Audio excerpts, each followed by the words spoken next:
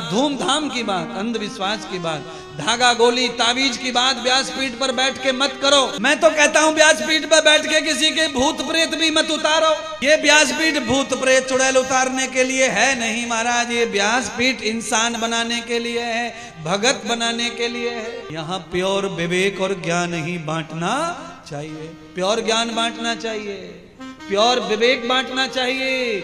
क्योंकि मैं नहीं कह रहा, स्वामी रामायण में तुलसीदास कह रहे हैं। तुलसीदास कहते हैं कि सत्संग के बगैर विवेक कभी पैदा हो सकता नहीं है। बिन सत्संग विवेक न होए। राम कृपा बिन सुलभन सोई राम की कृपा के बगैर सत्संग सुलभ नहीं है। और सत्संग के बगैर विवेक सुलभ नहीं है। बंधु कॉलेज स्कूल में कॉलेज स्कूल में आप कितना भी ज्ञान ले आओ कितना भी आपको जितना पटे उतना ले आओ पर विवेक नहीं ला सकते। कॉलेज स्कूल में आप ज्ञान ले आएँगे पर विवेक नहीं मिलेगा क्योंकि वहाँ सत्संग नहीं है वहाँ लठ संग है, है? जितना अत्याचार जितना अत्याचार बढ़ रहा है, वो कहाँ बढ़ रहा है, सब जानते हैं। कारखाना। बोलिए, हम क्या सीखने जाते हैं स्कूल और कॉलेज में, और क्या सीख के आ रहे हैं? क्या क्या उत्पाद कर रहे हैं? क्या क्या खेल रहे हैं, बताओ। है? अरे, इस महान सत्संग में आएगा, कोई महात्मा संत के पास में आएगा तो वो क्या ऐसे खेल खेलेगा? जो हो रहा है समाज में। वो समाज में जो हो रहा है, उसी चल चरित्र को बचाने के लिए भगवान के चरित्र श्रवण करना चाहिए बालकों को, बच्चों को, युवाओं को, और सभी वृद्ध। हाँ वृद्ध लोग भी बिगड़े हुए पड़े सब। लतड़ पतड़ सने हुए पड़े महाराज। इसीलिए पेट में जो कीड़ा है, पेट में जो अंडा है, पेट में जो बच्चा है उस बच्चे से लेके मरते समय तक प्रत्येक मनुष्य को भगवान की कथा सुननी चाहिए। पेट के बच्चे को भी कथा सुननी चाहिए। पालना में बच्चे को कथा सुनाओ। दूध पिलाओ बच्चे को, बोतल से, आंचल से कथा सुनाओ। पहले दादियाँ, मम्मियाँ यही कथा सुना सुना के भोजन कराती, दूध पिलाती। आ? दूध पी लो, मैं कहानी सुनाऊँगी, दूध पी लो, मैं कहानी सुनाऊँगी। और अब क्या सुनाऊँगी, दूध पी लो? है? अब तो आप समझ गए होंगे। दूध बच्चा पीता ही नहीं बिना मोबाइल ऑन किए। मोबाइल चला के ऑन करके कुन, पुन टुन पुन, ऐसी आवाज़ आनी चाहिए। यहाँ से वहाँ कुछ कूदना चाहिए कार्टून मोबाइल में, तब तो वो खाना खाता है। नहीं तो बिना उसके खाना नहीं जा रहा है बच्चों को। बोलिए, बड़ा कठिन है संसार। सारे महात्माओं ने आकर के भगवान सूत जी को गुरु मान लिया और चरणों में प्रणाम कर लिया, अनुग्रह ले लिया और बैठ गए। सदगुरु भगवान सूत जी ने कहा, तुम्हारा कल्याण होगा। स्थान बैठ कर कथा सुनो। क्या सुने? तो कहा, तम भागवतम कर्म योग सत्कर्म भूयंत जातम प्रभु। हे श्रीमद भागवत कथा श्रवण करो। और जब तुम कथा श्रवण करोगे तो तुम्हारे जीवन में सत्कर्म का प्रारंभ हो जाएगा। और सत्कर्म का जब प्रारंभ हो जाएगा तो अपने आप ही कल्याण होने के मार्ग खुल जाएँगे, रास्ता खुल जाएँगे।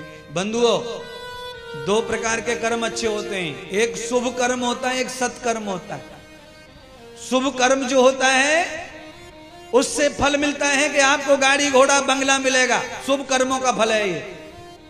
आप भंडारा दे रहे हो, दान कर दो, मंदिर बनवा दो, स्कूल खुलवा दो, ये सेवा कर दो, वो सेवा कर दो, ये सारी सेवाएँ आपको शुभ कर्म में गिनी जाती हैं। इन सेवाओं को करने से आपका गाड़ी, घोड़े, बंगले, बाल, बच्चे, नौकरी, चाकरी, पैसा, ये सब आएगा, पर शरीर में रोग आएँगे, तुम्हारे शरीर में रोग। और शरीर में रोग भी नहीं चाहिए, धन दौलत भी चाहिए, आनंद भी चाहिए, और मुक्त होना चाहिए तो सत्कर्म कर लो, सत्कर्म सत्कर्म।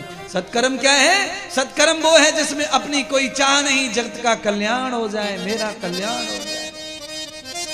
सबके कल्याण में अपना कल्याण, सबकी उन्नति में अपनी उन्नति, सबके सुख में अपना सुख। जो समझते हैं, उसको सत्कर्म कहते हैं। शुभ कर्म क्या है? जो मैंने अभी बताया, प्यासे को पानी पिलाना शुभ कर्म है। तुम्हें शरबत मिलेगा। भूखे को रोटी खिलाओ, चटनी, रोटी। तुम्हें छप्पन प्रकार के भोजन मिलेंगे। नंगे को सूती कपड़ा दे दो, तुम्हें रेशम के कपड़े मिलेंगे। ये फल है शुभ कर्मों का।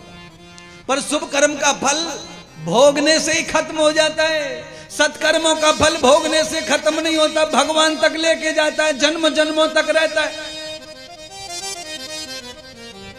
इस जन्म में, उस जन्म में, उस जन्म में, उस जन्म में, हर जन्म में जितनी बार भी जन्म लेना पड़े, मनुष्य का मिलेगा पहला नंबर। और दूसरा, महान बुद्धि, महान आत्मा और महान माता पिता महान समाज प्राप्त होगा सत्कर्म करने से। आज भगवान सूत जी ने अठासी हज़ार ऋषियों को सत्कर्म करने की बात, सत्कर्म करने की आज्ञा की। तो भगवान सूत जी जब आज्ञा कर रहे हैं तो अठासी हज़ार ऋषियों में से एक ऋषि को अध्यक्ष बना दिया, जिनका नाम है सौनक ऋषि। सौनक जी से कहा कि आप ही गुरुदेव से पूछो प्रश्न। तो भगवान सूत जी से पहला प्रश्न पूछा कि ये सत्कर्म क्या है? सत्यम प्रवर्ति यथा मूलम, कर्मम भूषणम फल। सत्कर्म। जिस कर्म को करने से जगत का कल्याण, परमात्मा का भी कल्याण, वह कर्म सत्कर्म है। है वो क्या कर्म है? तो कहा भागवतम कर्मम भूषणम। भागवत कर्म सत्कर्म है महाराज। है पुराण की कथा बचवाओ, भागवत की कथा करवाओ, यज्ञ करके सारे ब्रह्मांड को भोजन करवाओ। ये सत्कर्म है। कौन सा? ज्ञान यज्ञ और हवन यज्ञ ये दोनों सत्कर्म में आते हैं बंधुओं। आप अग्नि में जो अग्नि में स्वाहा स्वाहा करते हो ना वो भी भागवत कर्म है वो भी सत्कर्म है। और सत्कर्म जो होता है ना वो दुश्मन का भी कल्याण करता है। आप अपने घर में कितने भी दरवाजे लगा के हवन कर लो फिर भी पड़ोसी के घर जाएगी खुशबू रुक नहीं सकती।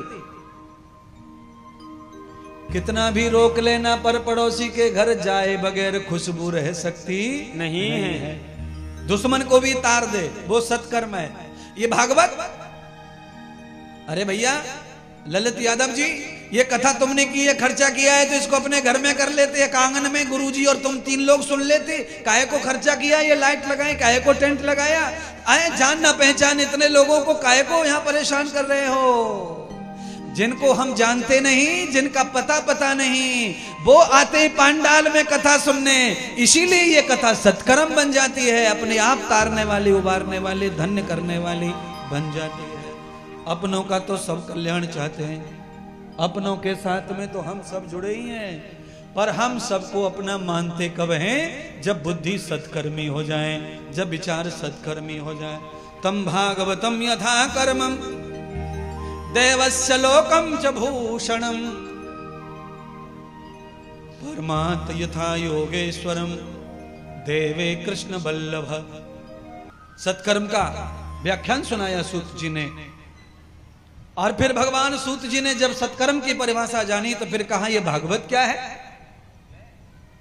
तब भगवान कहते हैं, भक्ति, ज्ञान, वैराग्य और मुक्ति का जो वचन है वो भागवत है भ ग व त भ ग व त भग ऐश्वर्य धातु है।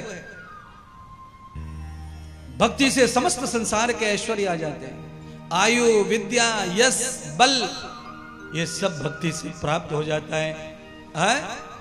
आयु आप पैसों से नहीं खरीद सकते।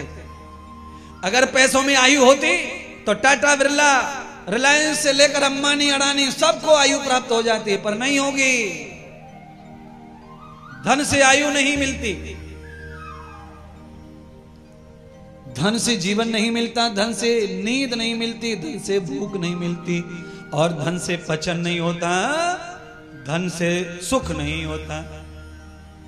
धन कब सुख देता है? जब पुण्य उदय हो जाए तो धन काम आता है। अगर हमारे पुण्य नहीं उदय होंगे, कृपा नहीं होगी राम जी की तो हमारा धन हमारे काम नहीं आता है। धन पड़ा रह जाता है। हमें पता ही नहीं रहता वो किसने निकाला, कब निकाला, कोई निकाला का नहीं निकाला। हमारे जीवन से प्राण चले जाते हैं, पता ही नहीं चलता कब मौत आए। छट छट हो जाता है। भक्ति देने वाली, ज्ञान देने वाली, वैराग्य देने वाली, मुक्ति देने वाली जो कथा, जो विचार, जो प्रवचन, वो कौन है? तो कहा, भगवान श्री हरि, भगवान श्री कृष्ण के जो परम चरित्र हैं, उन्हें सुनकर आदमी भगत बन जाता है। भगवान श्री कृष्ण की चरित्र ऐसे हैं, जिन्हें सुनकर भक्ति खुद प्रकट हो जाती है। श्री के रूप में, राधा के रूप में और श्री राधा के रूप में जब भक्ति प्रकट हो जाती है तो मुक्ति तो दासी है उनकी।